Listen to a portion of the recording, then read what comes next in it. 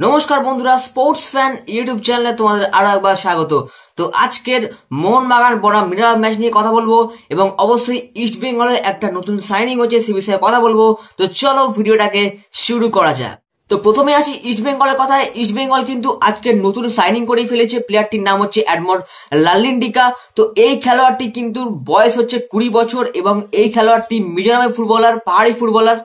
তো এই খেলোয়াড়টি কিন্তু একজন অ্যাটাকার এবং অবশ্যই এই খেলোয়াড়টি এআইএফএফ ইলাইট একাডেমি থেকে উঠে এসেছে।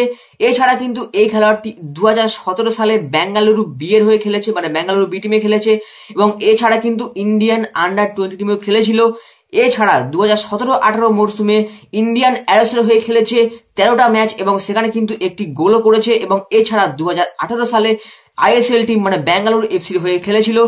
ছখানা ম্যাচ সেখানে কিন্তু কোনো গোল করতে পারেনি। তো এবার কিন্তু দু হাজার কুড়ি সালে এসে এই খেলোয়াড়টি সই করে ফেলল ইস্ট বেঙ্গলে তো দেখা যাক ইয়ং প্লেয়ার এই খেলোয়াড়টি কীভাবে নিজেকে মেলে ধরতে পারে ইস্ট বেঙ্গলে এসে।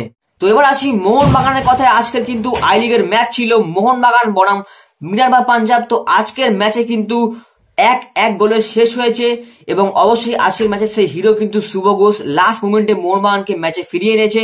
তো যদি বলি ম্যাচের কথা ম্যাচের কুড়ি মিনিটে কিন্তু মিনারবা হয়ে গোল করেছে, গোল করে গেছে সেই দীপান্না টিকা, যে দীপান্না টিকা মোহনবাগানে দু বছর খেলে গেছে এবং এরপর থেকে কিন্তু মোহনবাগান আরও অ্যাটাকিং ফুটবল খেলতে শুরু করে। সেকেন্ড হাফ কিন্তু মোহনবাগান পুরোটাই ডমিনেট করে খেলেছে।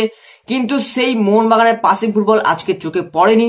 এছাড়া কিন্তু বাবা দিওরা আজকের ম্যাচে আরও একটি সহজতম সুযোগ নষ্ট করেছে। তো বাবা দিওরাকে নিয়ে তোমাদের কি মন্তব্য অবশ্যই কমেন্টে জানিও। এবং এছাড়া কিন্তু লাস্ট মোমেন্টে কোমরাম একটা সুযোগ পায়, সেখান থেকে কিন্তু মোহনবাগান জিততে ম্যাচটাকে জিততে পারতো, কিন্তু কোমরাম সেখান থেকে পাস বাড়ায়নি। পাস বাড়ালে কিন্তু সেখান থেকে শুভ ঘোষ গোল করতেই পারতো।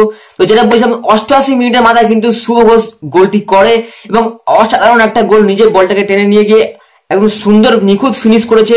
তো এই শুভ ঘোষ কিন্তু প্রত্যেকটা ম্যাচে নিজের ছাপ রাখছে।